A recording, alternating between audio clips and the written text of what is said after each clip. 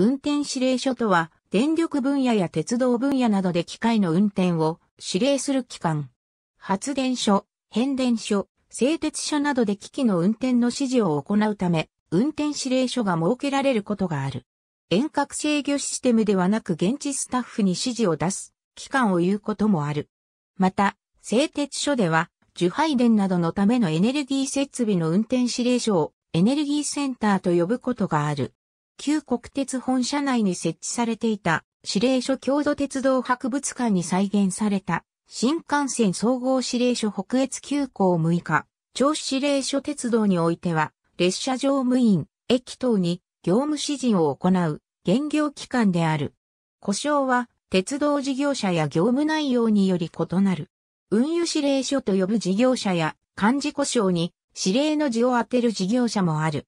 テロ対策等の観点から原則として所在地は明らかにされない。電話番号も電話帳には掲載されないが、踏切や稼働橋には緊急連絡先として明記されている。列車乗務員や駅など現業に対する指揮、指示が業務であるが、事故など異常がなければ、列車の運行状況や機器の動作の監視が主な業務となる。一旦ダイヤの乱れが発生すると、運転整理、振り替え輸送の依頼、設備の復旧作業指示、場合によっては、バス代行の手配等多忙な状態となる。指令所で指令業務を行う職員のことを指令員という。特に列車の運行に直接関わる輸送指令で従事する指令員を輸送指令員、または運輸指令員という。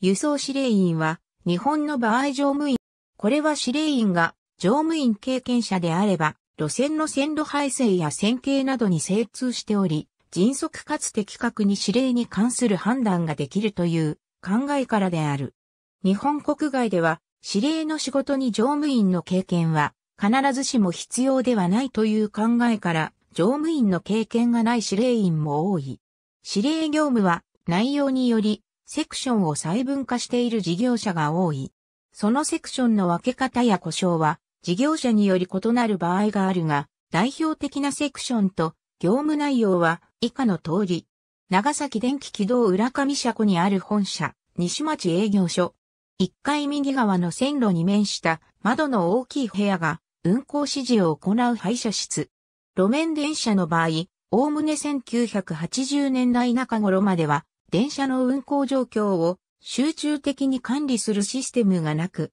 主要な停留場や車庫に輸送、運用指令に相当する業務を行う事務所を設け、利用者の増減や発着本数等の状況を見ながら、運行間隔の調整や行き先、系統指示を行っていた。